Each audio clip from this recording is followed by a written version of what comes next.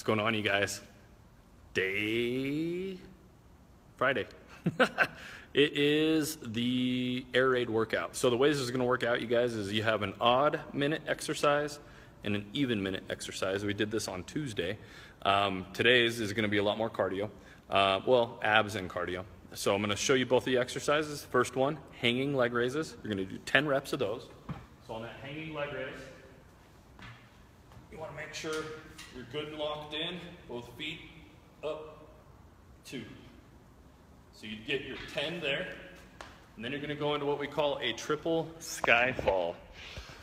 Now, what a triple sky fall is, get this thing set up here, slightly down, right there.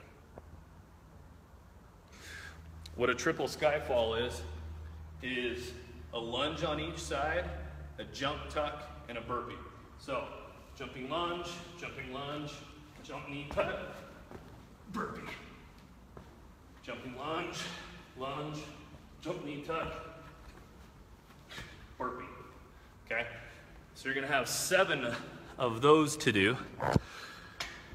30 minutes, recover, enjoy, have an awesome day. Love you guys. Peace.